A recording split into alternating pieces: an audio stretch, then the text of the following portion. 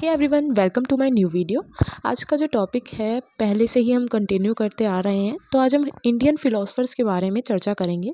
पहली फ़िलोसफर्स ताराबाई मोदक, ठीक है?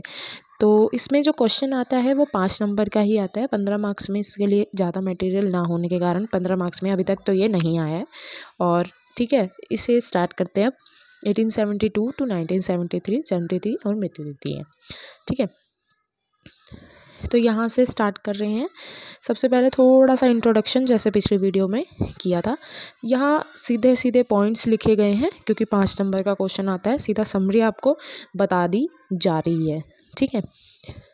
तो ताराबाई मोदक का नाम पूर्व प्राथमिक शिक्षा के क्षेत्र में जाना जाता है। शुरू से ही ये प्री स्कूल एजुकेशन से में इनका नाम आता है, ठीक है? शुरुआत शुरुआती समय में वह गीजूभाई बाल मंदिर में शामिल हुई। गीजूभाई बाल, गीजूबाई एक और फिलोसफर हैं, इनके बारे में हम आगे पढ़ेंगे। तो उन्होंने जहाँ से शुरुआत की थी, वो गीजूबाई का जो बाल मंदिर उन्होंने खोला था, वहाँ पर शामिल किया था, ठीक है? तब उन्होंने बच्चों की नीड्स को समझा और नेचर सेटिंग में वहाँ वहाँ जो है उनकी नीड्स को केटर करना चाहती थी, ठीक है?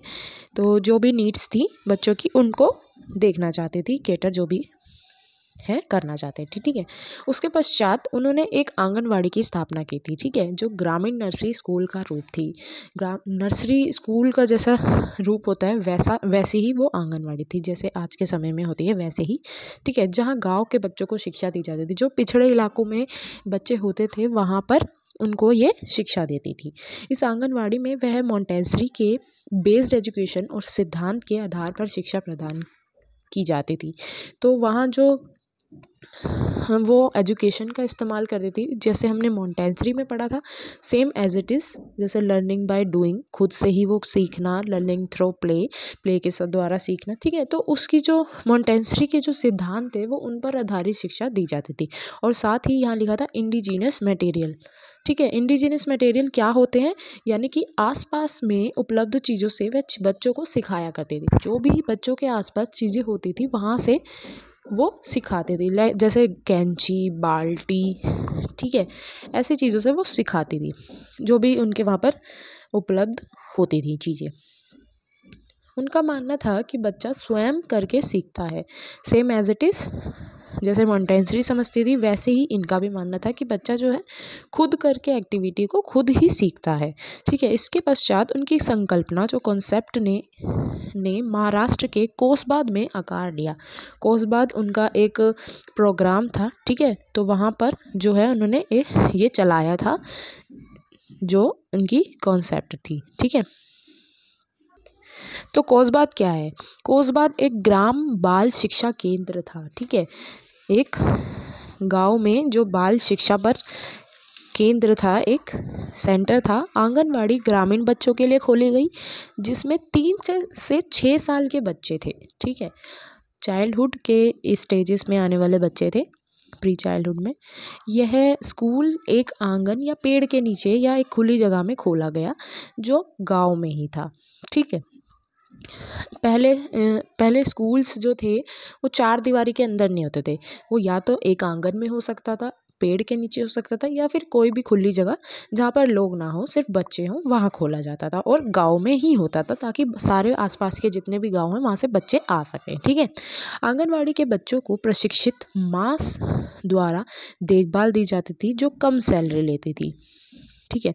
आंगनवाड़ी के जो बच्चे थे, उनको ट्रेनर्स मतलब ट्रेंड जो माएँ होती थी, उनके द्वारा देखभाल भी दी जाती थी, जो कम सैलरी में लाई जाती थी। ठीक है, आंगनवाड़ी में जिन मटेरियल का उपयोग होता था, जो भी सामग्री का यूज़ करते थे, वह सरल होते थे ताकि बच्चे उसे स्वयं कर सकें। ठीक है, ये मुझे लगता है समझाने की ज़रूरत नहीं है।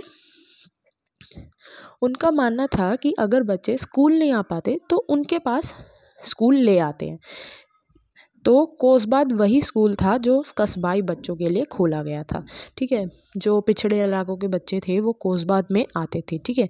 क्योंकि ताराबाई मोदक ये मानते थे कि अगर, क्योंकि स्कूल जो थे, वो स्थायी होते हैं आज के ज़माने में। ठीक है? एक ही जगह पर होते हैं और वहाँ से बच्चों को आना पड़ता है वहाँ पर। लेकिन ताराबाई मोदक जो थी, वो ये मानती थी कि अगर स्कूल बच्चों के पास जाए तो उनके लिए ज़्यादा बेनिफिट होगा। ठीक है? क्योंकि बच्चे स्कूल के लिए नहीं आ सकते, लेकिन स्कूल तो उनके पास जा सकता है, ठीक है? तो कोस बात उनकी ये कल्पना थी, जो महाराष्ट्र में आई थी, ठीक है? नेक्स्ट है, उन्होंने गीजूबाई के साथ मिलकर pre school teacher training college खोला, ठीक है? जहाँ पर बड़े लोगों को ट्रेनिंग दी जाती थी, ताकि बच्चों को वो पढ़ा सके ज़ीरो से छः वर्ष के लिए, ठीक है? जो पहला ऐसा स्कूल था जहाँ शिक्षकों को प्रशिक्षण दिया जाता था, ट्रेनिंग दी जाती थी टीचर्स को और यह ईसीसी उनकी सभी शिक्षा का आधार बना।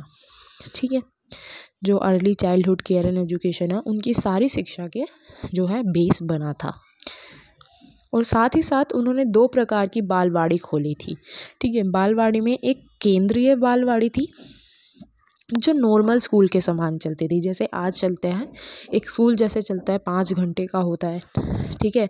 जहाँ अच्छी टीचिंग एड होती है या कोई भी मटेरियल इक्विपमेंट होता है, और घर से बच्चे पढ़ने आते थे प्रॉपर पाँच घंटों के लिए, ठीक है? पाँच घंटों में स्कूल में वो रहते थे। ऐसे ही उसे केंद्रीय बालवाड़ी का रूप दिया। और दूसरी थी आँगन बालवाड़ी। आँगन बालवाड़ी बालवाड़ी मैंने आपको समझाया, वही है सेम टू सेम यह बालवाड़ी एक आँगन में चलाई जाती थी, ठीक है? बच्चों के घर के पास होती थी। और इसके साथ साथ उनके अभिभावक, जो भी पेरेंट्स हैं गार्जियंस हैं, भी बच्चों पर निगरानी रखते थे, ठीक है? रख सकते थे। इसका समय एक से डेढ़ घंटे प्रतिदिन होता था। जैसे ट्यूशन होता है, वैसे में कह सकते हैं, है ना? जहाँ शीशा, कंघी, बाल्टी, कैंची और नैपकिन जैसे लोकल मटेरियल उनके पास होते थे, ताकि जो है बच्चों की जो भी पर्सनैलिटी डेवलपमेंट हो सके, ठीक है? बच्चा स्वयं अपने थोड़े बहुत काम कर सके, वो उन्हें सिखाया जाता था, ठीक है?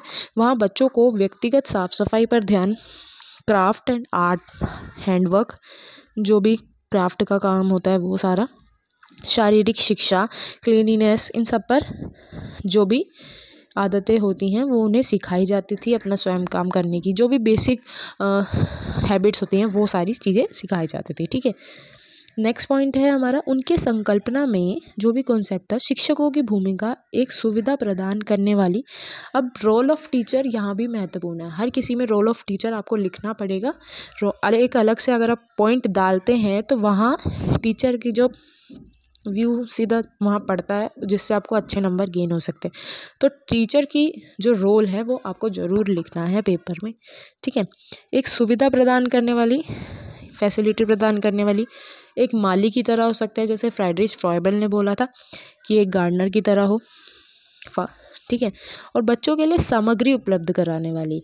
ये नहीं कि बैठी रहे एक ही जगह, बच्चों, बच्चे अगर कर रहे हैं तो करने दो, उनके बैरियर्स को भी नहीं हटा रही, एक अच्छा एटमोसफियर भी उन्हें प्रदान कर रही। तो टीचर की भूमिका सारे जो फिलोसफर्स हैं वो सेम ही समझते हैं, ठीक है? और एक निरीक्षक के रूप में भी होती है, ठीक है? ताकि वो वो अपनी डायरी में नोट कर सके कि बच्चा यहाँ पर जो है इस एक्टिविटी को करने में अटक रहा है। तो मुझे क्या करना चाहिए? ठीक है, यहाँ शिक्षक की भूमिका भी महत्वपूर्ण है, हर किसी में शिक्षक की भूमिका बहुत महत्वपूर्ण है, ठीक है? लास्ट है, उन्होंने बच्चों की वास्तविक आवश्यकता को समझा था, छोटे बच्चों की वास्तविक आवश्यकता को समझा और एक प्राकृतिक सेटिंग में उनकी ज़रूरतों को पूरा करना चाहती थी। ठीक है? जो बच्चों की जो रियल नीड्स थी उनको उन्होंने अच्छे से समझा था और जो भी एक नेचुरल सेटिंग थी ने, नेचुरल सेटिंग है बच्चा जहाँ भी रहता है उसमें उसकी ज़रूरत क्या है वो उनको पूरा करना चाहती थी। ठीक है जैसे एक कस्बाई बच्चे की और एक अर्बन सिट अर्बन जगह पर रहने वाले बच्चों में, दोनों की ज़रूरतों में बहुत डिफरेंस होता है। तो वो इस जो डिफरेंस था, उनको हटाना चाहती थी, ठीक है? ताकि बच्चे का जो विकास है, वो अच्छी तरह से हो पाए। तो यहाँ ख़त्म करते हैं हम। Thank you for watching